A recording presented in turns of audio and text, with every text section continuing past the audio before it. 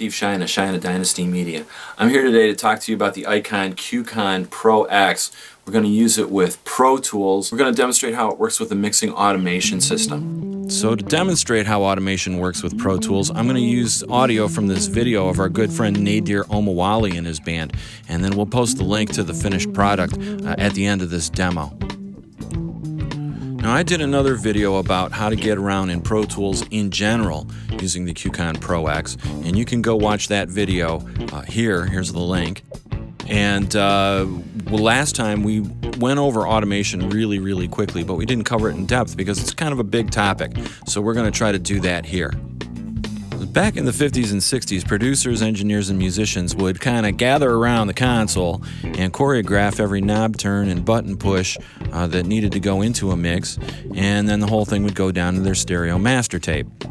Now, everybody's pretty comfortable with adding some control points and drawing some data changes into a fader or what have you. But the more musical option is really to enter those kinds of changes from your faders on the icon.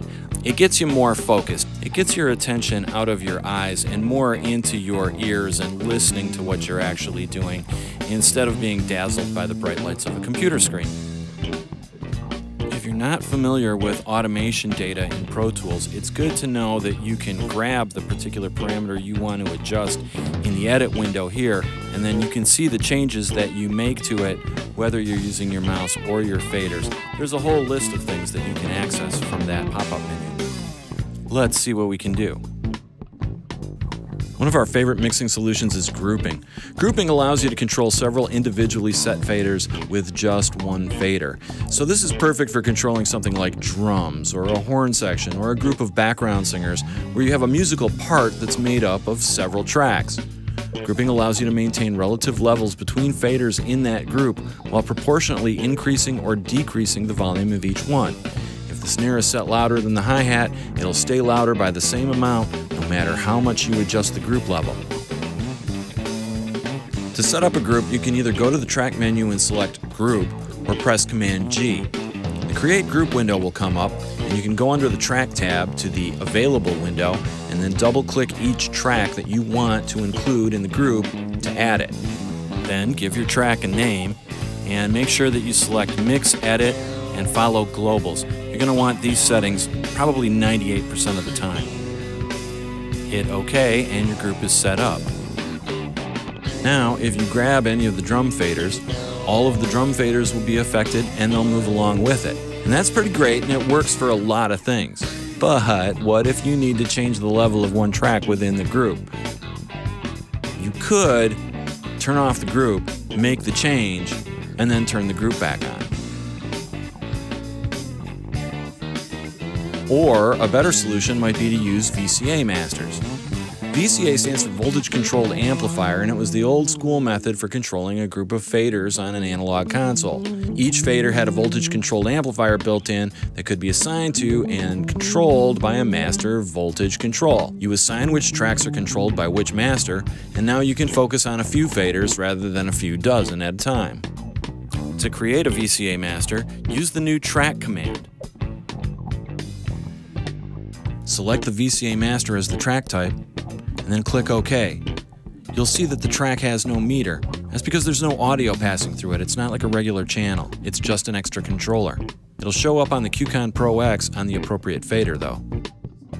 You're going to want to make sure that in your Pro Tools preferences, under the Mix tab, you've selected Standard VCA Logic for group attributes. This will make sure that your pan pots aren't grouped even though your faders are. If you need to, you can change that setting in individual groups by editing globals. Globals are settings that let you define which parameters are being controlled in the group. And your user's manual gives you a pretty good explanation on when or why to change some of those globals. Now we'll go to the VCA fader. We'll go to the assignment button we'll select the drums, and now this fader is going to be the group master for drums, and you'll also have a fader for it on the QCon Pro X. And now you can change the fader level individually, and then still have the VCA control the overall level of the group.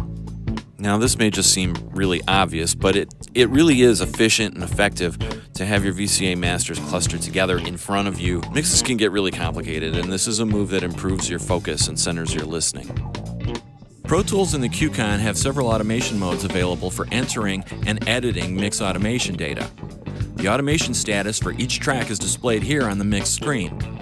To set the mode of a channel, hold down the mode button you want and then punch the control knob for the track you're working with. The status changes in Pro Tools.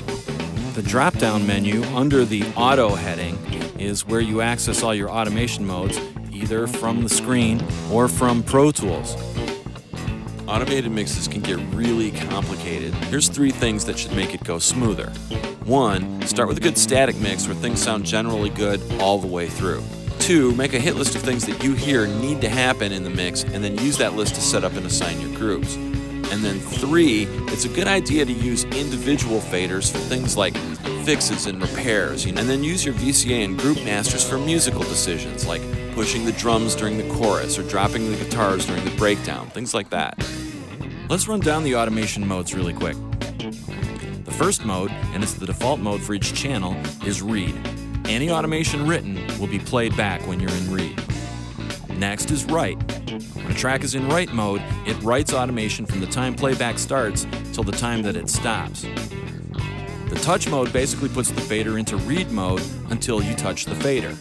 You can even see the blue light above the fader here, letting you know that the QCon knows you're there.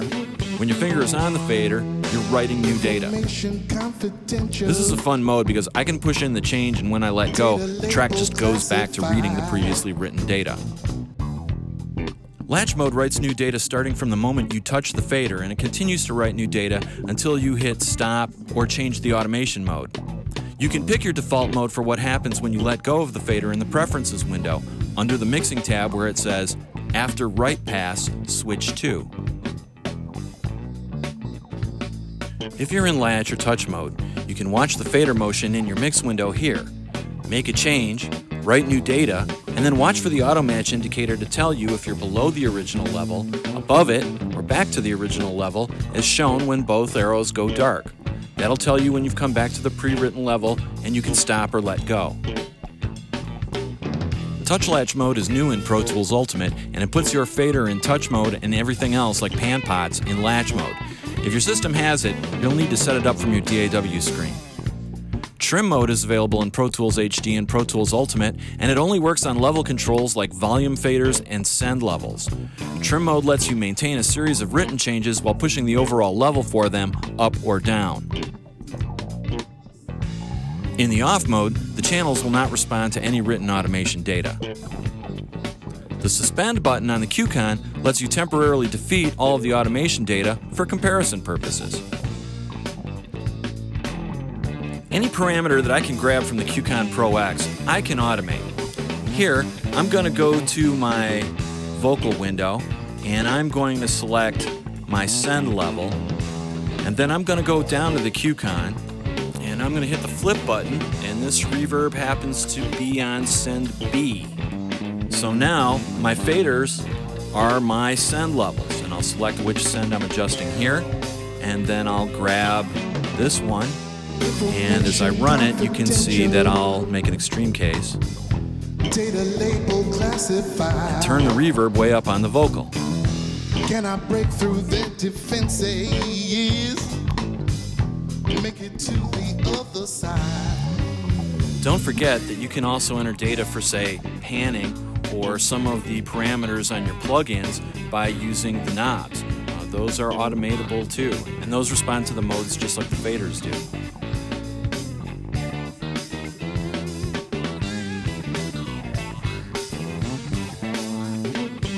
Want to check out the rest of Go It Alone, you can go to MichiganLiveMusic.com and in the video gallery, Go It Alone is uh, right at the top row. You can select it, watch it, and check it out. It's also on YouTube. You can check it out here. Mix automation in Pro Tools is a really powerful tool in your arsenal, and the QCon Pro X makes it dead easy to work with.